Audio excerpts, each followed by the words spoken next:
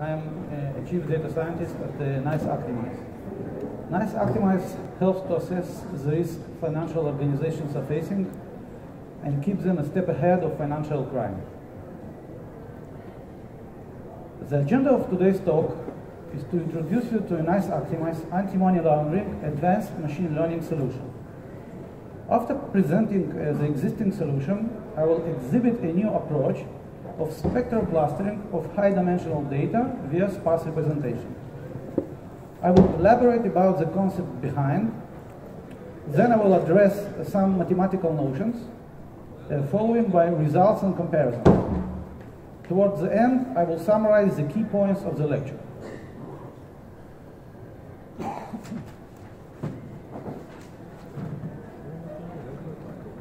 Uh,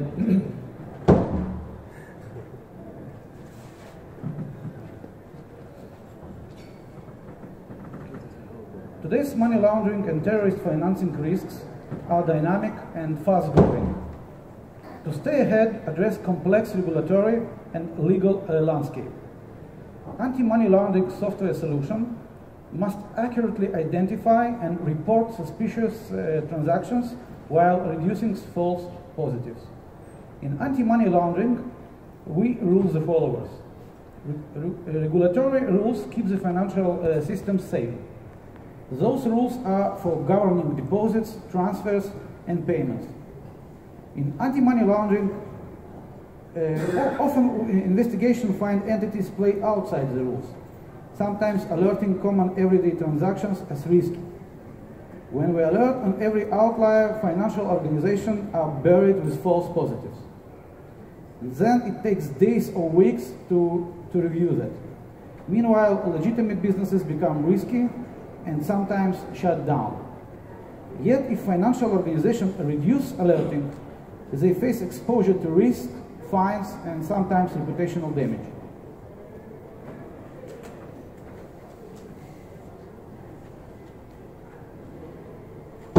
The following scheme demonstrates workflow pipeline in high level. Raw data acquisition, uh, data uh, aggregation profiling, business segmentation, data pre-processing, uh, cluster analysis, and finally optimization thresholds parameters on resulted clusters. Uh, data acquisition is the process of bringing uh, the data in. The data aggregation and profiling is the process of flattening the data by calculating the aggregated uh, statistics per uh, each feature for a predefined period of time. Pre-process is vital for volume reduction of immense amount of data. Business segmentation is a process which segments the financial data by certain business rules based on perceived uh, risks and monitoring requirements. Reprocessed data includes dimensionality reduction techniques and feature selection by different criteria. The methods of outlier analysis are applied. Features are selected by zero variance, intercorrelations, sparsity, uniqueness, and other conditions.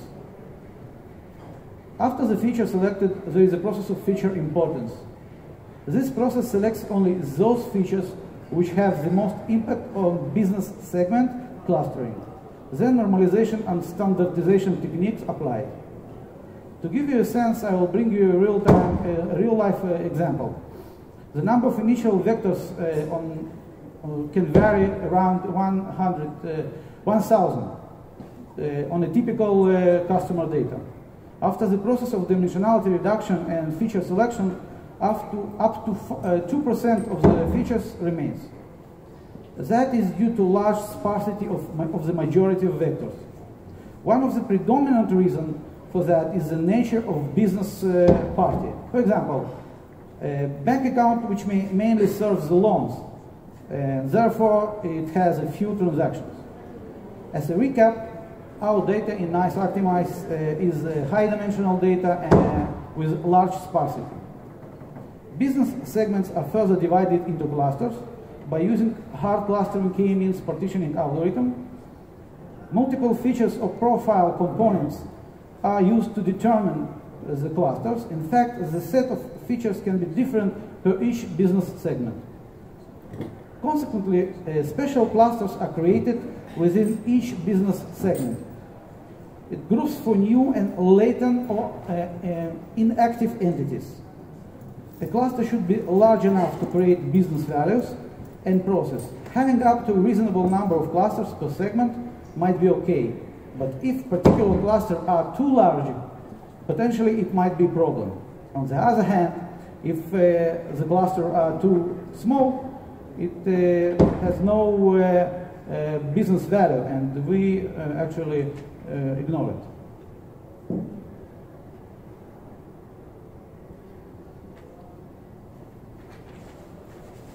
Individual clusters uh, are too small uh, and it can contain any business value. Therefore, we're likely to take him, uh, not into the consideration. After clustering, the process of auto-tuning is applied on each cluster in order to intelligently optimize thresholds on rules to accurately detect criminals, leaving legitimate outliers alone. Auto-tuning can be regarded to a smart query uh, which extracts precisely and accurately the indispensable information. Distinctness and exactness affect the further decision regard regarding to likelihood of a certain pattern to be crime. After auto-tuning optimization is done, there is a sophisticated scoring algorithm that leads to the creation of highly focused alerts. The score is indication for a suspicious activity. Eventually, the manual review of ranked alert is made by an expert. The human decides whether to escalate the alert, to, to leave it uh, for further monitoring, or to mark it as not suspicious. Now we can clearly understand the problem of false positives. The larger number of false positives, the greater amount of human resources might be involved in the manual review. One of the primary objectives is to reduce the false positives. In fact, there are two, uh, two factors which directly affect the number of false positives. The, the factor number one is a good separation between clusters, and the factor number two is uh, efficient auto-tuning optimization. In this lecture, I'm going to focus on the first factor, which is good separation between the clusters. I will show our advanced cluster analysis uh, approach other than a k-mean uh, partitioning algorithm. And to sum up what has been uh, said, the main idea behind the cluster analysis in anti-money laundering is to help the customer to examine specific slice of uh, financial, uh, of massive financial data expeditiously in order to execute various queries for suspicious pattern detection. What are we trying to achieve in anti-money laundering? We are trying to better detect usual behavior early and faster, to minimize false positives without missing crime and maximizing true positives, find different behavior group inside business segmentation, optimize rules, thresholds per behavioral entity transaction profile. That would mean the ability to detect a well-separated cluster of significant size which has a high business value and low number of sparse uh, feature vectors.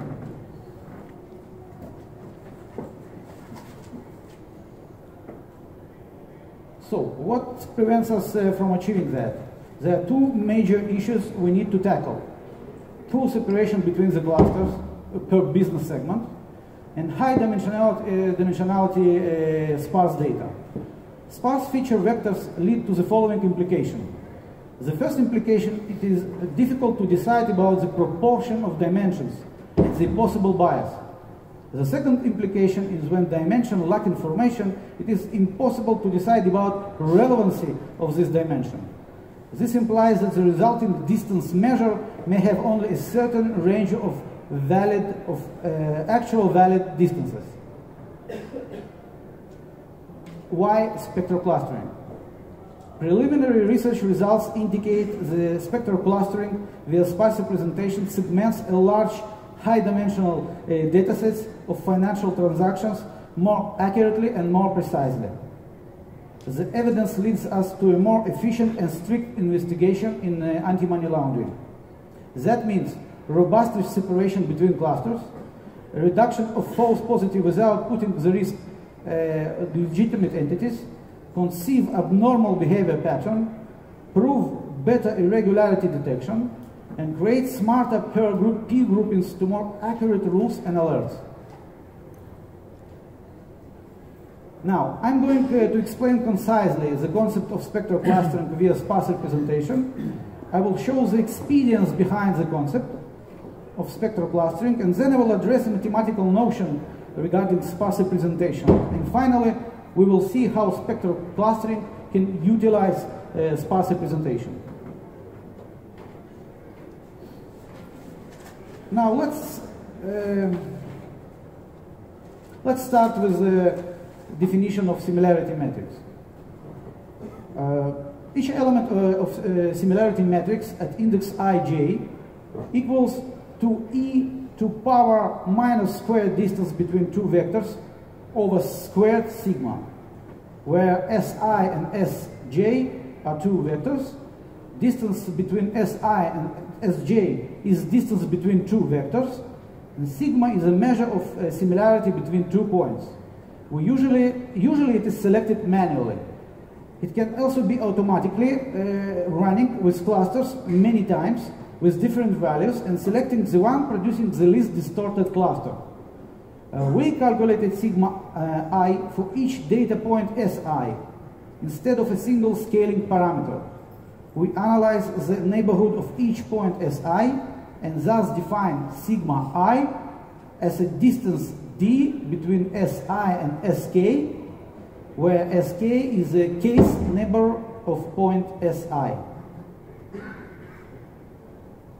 What is spectral clustering? Spectral clustering refers to a class of techniques which rely on eigenstructure of the similarity matrix to partition data into disjoint clusters. The notion of similarity is playing the following role here. Data points belonging to the same clusters having high similarity. Those points belonging to different clusters have low similarity. Perceiving the similarity matrix is much more valuable and useful than observing the clusters directly. Similarity matrix depicts much more gainful information, especially in case of high-dimensional data. An illustrative example of that would be a bivariate plot, the one you can see now on the screen.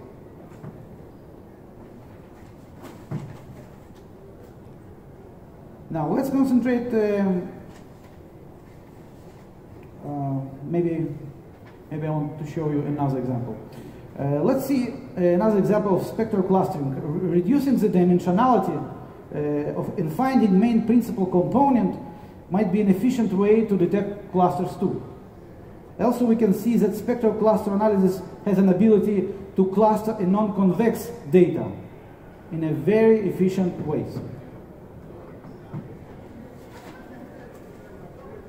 Now, let's concentrate on the mathematical notion of sparse representation.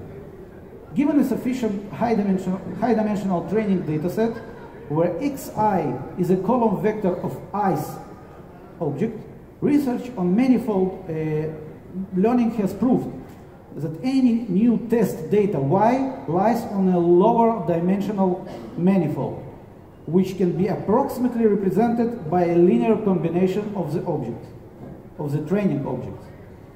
If we add the constraint to the best solution, equation number one should be as sparse as possible, which means that the number of non-zero elements is minimized. The solution becomes unique. Such sparse representation can be obtained by solving the optimization problem, equation, equation number two, where L0 is a norm of a vector. Since the real data contain noise, it might not be possible to express test sample uh, exactly as sparse representation of the data. The sparse solution alpha can still be approximately obtained by solving the stable L1 norm normalization, optimization, equation number three. In many situations, we do not know the, the noise level. Then we can use least absolute shrinkage and selection operator algorithm, optimization algorithm, to recover the sparse solution from the equation number three. Gamma is the regularization parameter of lasso penalty, which directly determines how sparse alpha will be and balances uh, the trade-off between the reconstruction and re reconstruction of the error and the sparsity.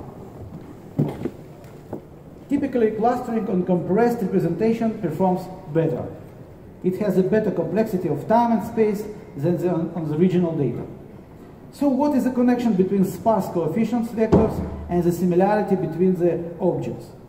Evidently, the sparse coefficient vectors corresponding to two similar objects are similar. And those sparse coefficient vectors who belongs to, who corresponds to two dissimilar objects are actually dissimilar.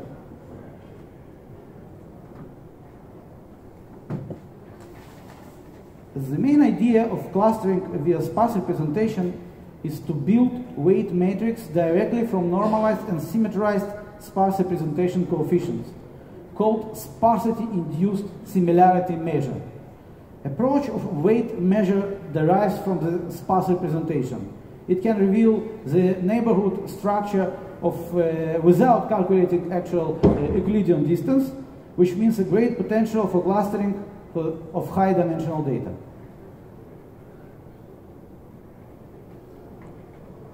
Our approach to find optimal number of clusters in spectral clustering based on the perturbation theory and uh, uh, graph theory. Eigengap heuristics suggests the number of clusters is usually given by a value k that maximizes the eigengap. But what is uh, eigengap? Eigengap is the difference between consecutive eigenvalues. The larger the eigengap is, the closest eigenvectors of the ideal case, and hence the beta spectral clustering works. Uh, this is a snapshot of a code that calculates eigen decomposition. The function gets similarity matrix, plots sorted eigenvalues, and return two things. One, tuple containing optimal number of clusters by eigen heuristics, and second, all eigenvalues and all eigenvectors. Eigendecomposition on a given similarity matrix is calculated as follows. Constructs the normalized similarity matrix, finds eigenvalues and corresponding associated eigenvectors, identifies the maximum gap which uh, corresponds to the number of clusters by eigengap heuristics.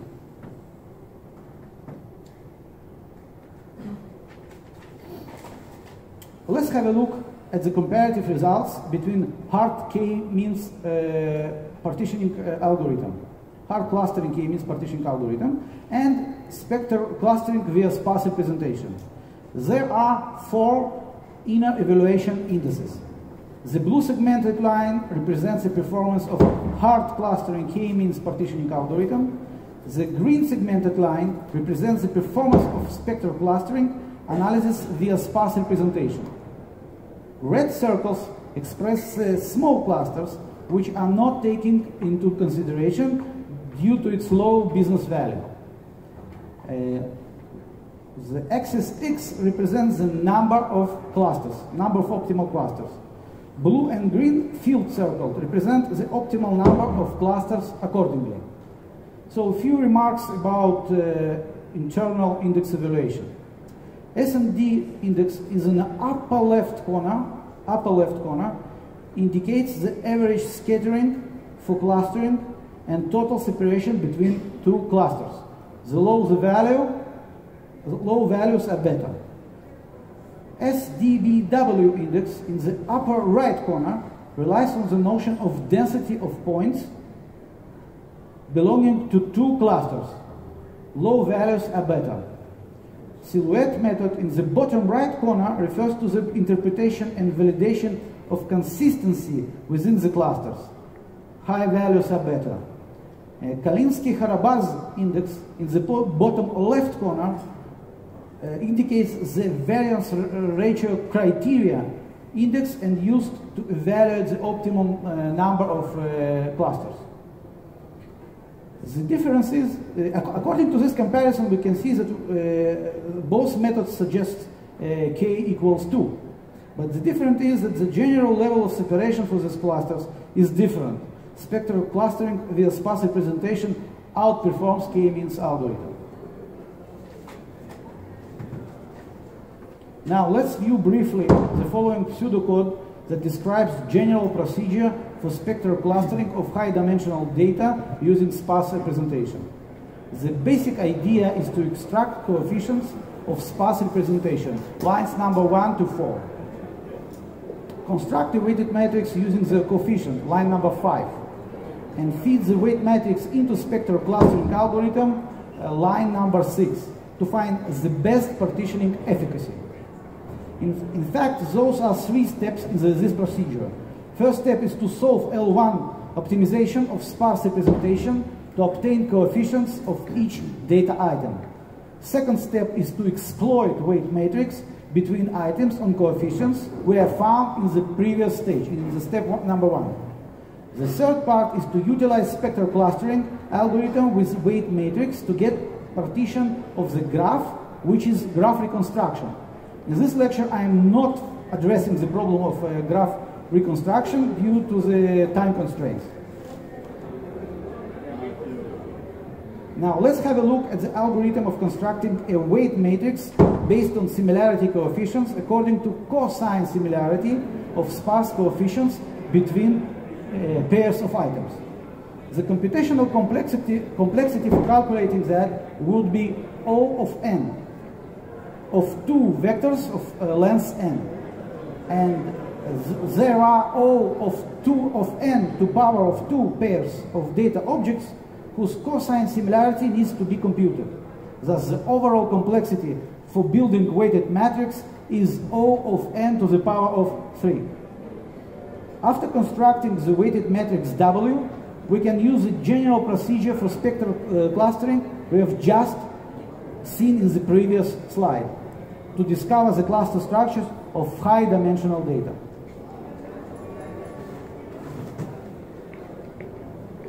So far, I've uh, exhibited the general synopsis regarding the spectral clustering, high dimensional, uh, high dimensions, and sparse representation. To sum up this lecture, I will underline two keys. Spectral clustering is a class of techniques which relies on the eigenvalue of similar, uh, eigenstructure of similarity matrix.